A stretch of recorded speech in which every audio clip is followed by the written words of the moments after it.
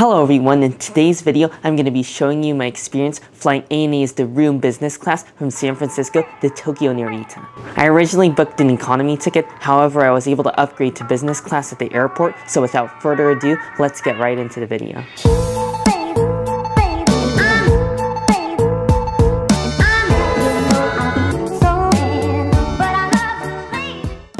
I just made it through priority security, which was included in my business class ticket.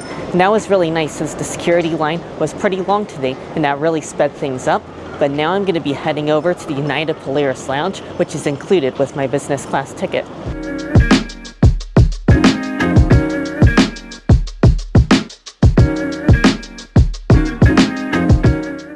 I just made inside the Polaris Lounge here, and I was lucky because I was able to score a reservation at their exclusive restaurant, and I just have to wait around 30 minutes for them to start lunch service, and I'm looking forward to my meal there. But in the meantime, this lounge is a really great place to relax. Compared to when I visited this lounge last year, it's so relaxed today and it's a great place to hang out before your flight. I made it here inside the restaurant and I really love the decor and vibe in here. It's really small so it feels really exclusive and I love all the large windows showing a beautiful view of the airport. I decided to order a small plate and I got their crab cake with remoulade sauce. Mm. What a delicious crab cake, perfectly crispy and warm on the outside, and the inside is just tender, fresh, sweet, succulent crab meat, and I love the sauce as well. Just adds a beautiful creaminess and a slight tartness. After waiting around for quite a while, my entree finally came out, and it's the chicken, and I'm looking forward to this. However, I'm gonna have to eat it really quick, because I actually need to leave the lounge in just under 10 minutes. Mm. Mm -hmm. This is really not bad for airport lounge food. The chicken is a bit dry since it's chicken breast and it is a bit overcooked, but it's made up by the fact that there's a really nice broth on the bottom, so it really moistens things up. And I love the garlicky flavor in here as well. And you also got some spinach and potatoes on the side. This is really quite tasty. However, I know the food is gonna be even better on our flight, but actually, I gotta get going pretty quick because our plane is about to start boarding really soon.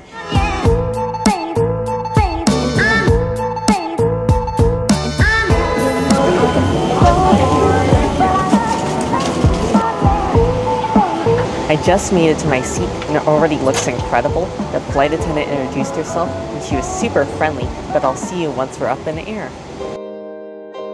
Good afternoon, dear passengers. Welcome on board ANA Edinburgh Star Alliance Flight 7 from Narita.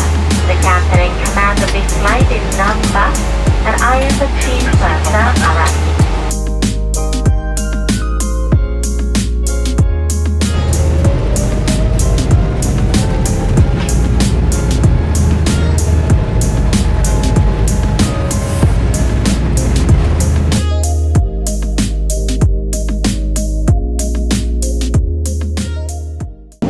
only about 30 minutes after takeoff and they just brought out drinks and it's about time to start the meal service.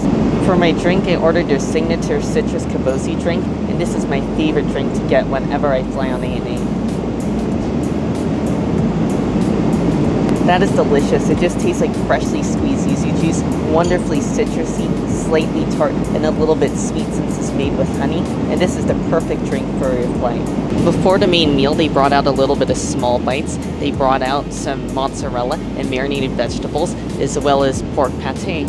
I'm gonna go ahead and start off with our mozzarella first. That is absolutely delicious. You got fresh, tender mozzarella covered in a creamy pesto sauce. And there's also a little bit of squash in there as well. This is just a perfect little thing to just stimulate your appetite at the very beginning of the meal. Now let's go ahead and try out the pork pate. Oh, how delicious is that? I can't believe I'm eating this in the sky. Beautiful, rich pork pate, and it tastes really fresh as well. Just get a very slight livery flavor, but you can tell you're using high quality pork. And then beneath that, you just have a thin piece of toast, and that's just the perfect pairing. The next selection of dishes before the main course have just come out. I'm going to be starting off with the cold sesame tofu. That is delicious. You have a buttery, rich sesame tofu and then a little bit of soy flavor as well. And I loved how it's topped off with perfect little slices of okra. They also have some fresh greens topped off with salmon roe and crab. And this was a dish that I remember from last year as well, just like that sesame tofu. And this is another winner. That is just fantastic as well. It's fresh, juicy, crunchy spinach, perfectly cooked because it's not mushy at all. And then on top, you have the sweet crab meat. And then as you bite into the salmon roe, they just burst in your mouth with a wonderful, salty, and umami, briny, rich flavor. We also have a little bit of the smoked duck to try as well, just a singular piece.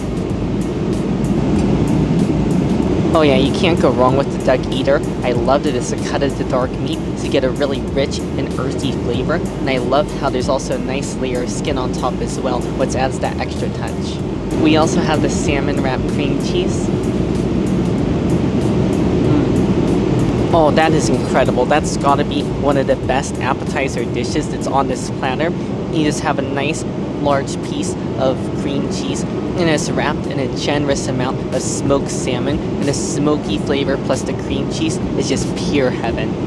One of my favorite dishes last time was this seared yellowtail salad with wasabi dressing, so I'm so happy that they have it again on display.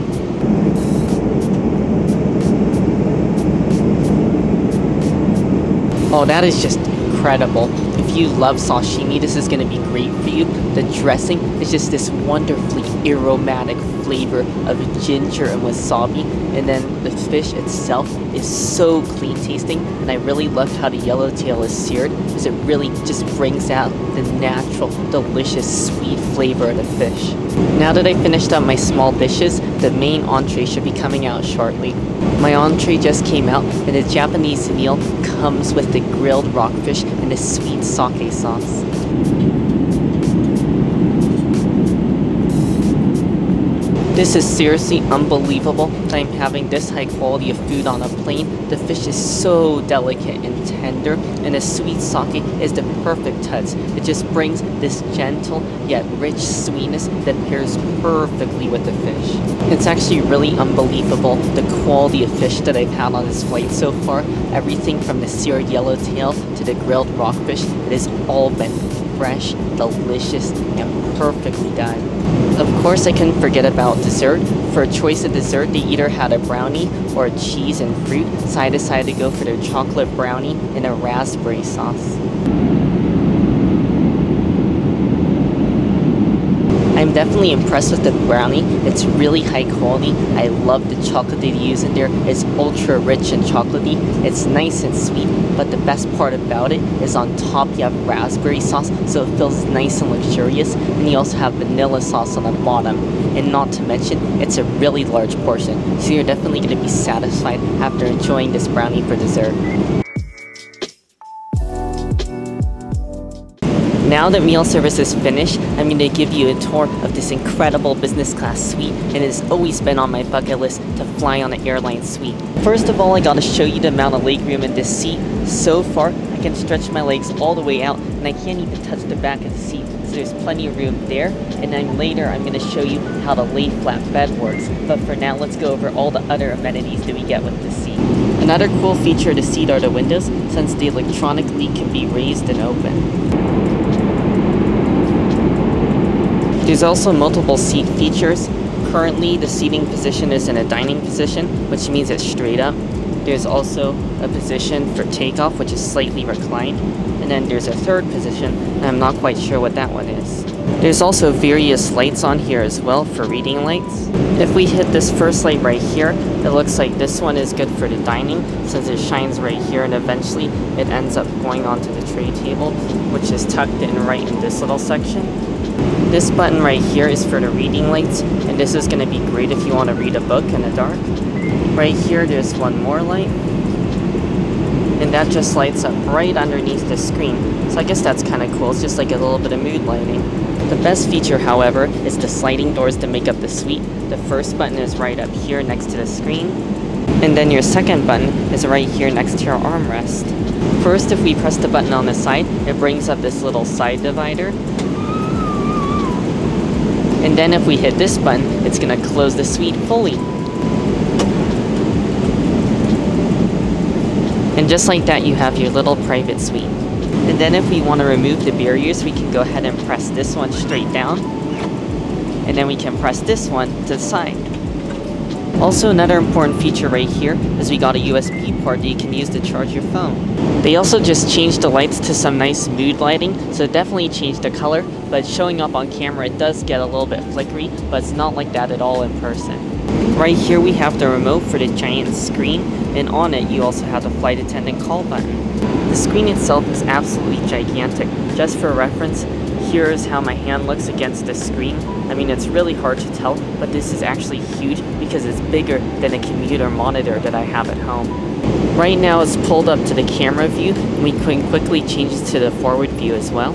And overall, I really just love that they have this screen feature, since it's really nice to look at the scenery as you're flying around. And now let's go over to in-flight entertainment. This is the main home screen once you go to the entertainment section. Let's take a look and see what types of movies they have. It definitely looks like they have a nice selection of tons of Hollywood movies, so definitely gonna find something interesting for everyone, as they have such a great selection of many different blockbuster movies. Now let's go over amenities, and everything comes in this plastic bag. First of all, we have our ANA slippers, and these are quite comfortable actually, since I used these last year and they were pretty nice. We also have ourselves some headphones, and of course we have an amenity bag, and actually recently they switched their amenity bags from leather to fabric to be more environmentally friendly, but it still feels like a decent quality bag. Right inside of our amenity bag we have a little bit of lip balm as well as body lotion. They also give you what I believe to be a reusable bag. That's actually everything that they give you in an amenity bag, but they have more items in the bathroom like mouthwash, toothpaste, and toothbrushes, so you really have everything you need on this flight. Now I'm going to be showing you how the lay flat bed works. First of all, they give you two pillows. This white one is more of a firmer one. This blue pillow is a nice, soft, and fluffy one. You also have a blanket, which I won't be needing since it's a pretty warm flight. And finally, there's a mat for you to place down on your seat before you lay down. For the lay flat bed, I believe this third button is the button to press to make it flat, since I've already tried out the other two buttons. Let's go ahead and turn this into a full flat bed. And just like that, we are now laying flat. The last step of this full flat bed is we're going to go ahead and place this comfortable mattress down. On top you have the design, and then on the bottom you have this blue part that is actually going to be touching the seat. Now that I've placed down my cushion and my pillow, let's see how this feels. Wow, that is so nice. It is very comfortable, and you are certainly going to have a great night's rest. However, I'm personally probably not going to be sleeping since this is a daytime flight. I also noticed that these pillows are huge compared to the pillows they had last year in business class. These pillows are pretty much full size and they definitely do fit the room quite nicely. The room is also very spacious. I'm only 5'3", but there's plenty of room for me to stick my feet out. However, I heard for taller people that are like 6 feet or taller, they do have to rotate their body a bit and sleep diagonal, but everybody says it's still quite comfortable. The room suite is actually ridiculously wide. I mean, look, I could practically stretch out my body almost the entire weight because of how wide the seat is. This is quite comfortable for a lay flat bed. I mean, the seat itself is already nice and cushy and padded, and then on top of that you have the mattress, so once you lay down on top of the mattress pad and the pillow and the soft seat, it is really comfortable, and I definitely do notice it being a lot more cushy and soft compared to the old ANA business class that I flew on last year.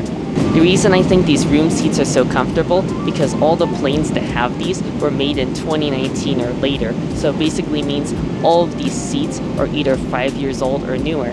I also thought I'd talk about the configuration of the cabin for the room. So the current seat I'm in is a forward-facing seat. However, they alternate between forward and rear-facing seats. So that's something you're going to want to keep in mind when you're booking your seat.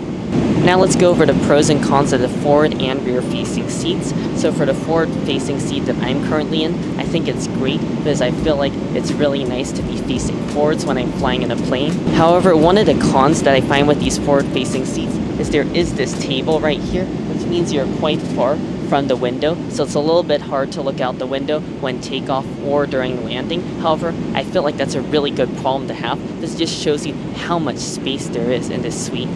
For the rear facing seats, the Pro is the you're much closer to the window, so it's basically like a more traditional business class seat where you're pressed up right against the window, and then the table is going to be more on this side, closer to the door, so that is a great benefit. However, I think for some people, including myself, I may get motion sick when booking a rear facing seat, so you definitely want to be sure of what seat you're going to reserve when making a reservation for business class.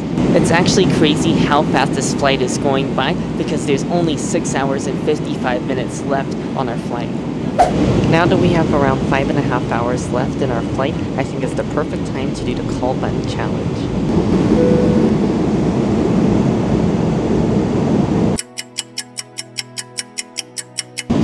While the service on that was incredibly fast, it only took 27 seconds. I just ordered a corn soup because I've heard that it's really good.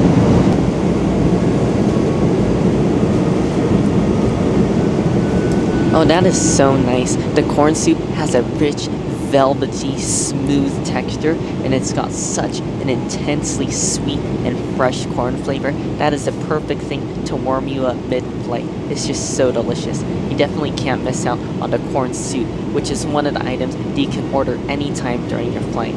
I'm gonna go ahead and finish that up, and I'll see you again when it's time for breakfast. We're just around two hours from landing, and it's time for breakfast, and once again, I had to go with the Japanese option. For breakfast, the first item I want to start off with is their fried chicken eggplant, which is their small dish, and that just sounds ridiculously decadent and delicious.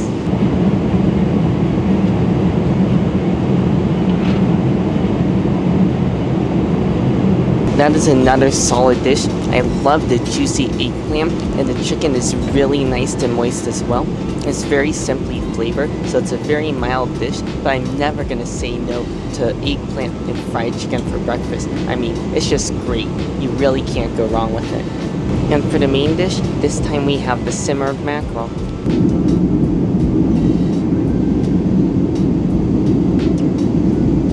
Mackerel is one of my favorite fish to eat, especially on ANA. They do it so perfectly because it is such a fatty and oily fish. It really has so much flavor and it tastes like it was just freshly made. Even though I've already been on a plane for hours, it just tastes like it's been freshly made, which is just kind of mind-boggling.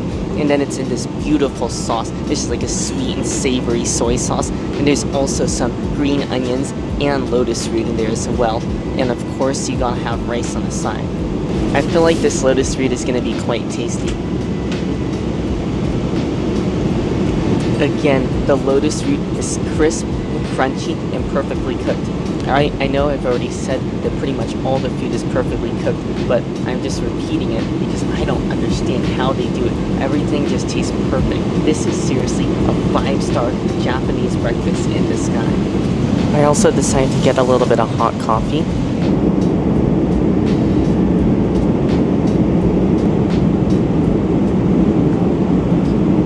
Let's get a little sip of our coffee now. You can't ever go wrong with a hot cup of coffee, and it's gonna be the perfect thing just to wake me up a bit. Overall, this was an amazing breakfast and the perfect thing right before landing. Our flight will be landing shortly, so I'll be giving you my final thoughts once we're back on the ground.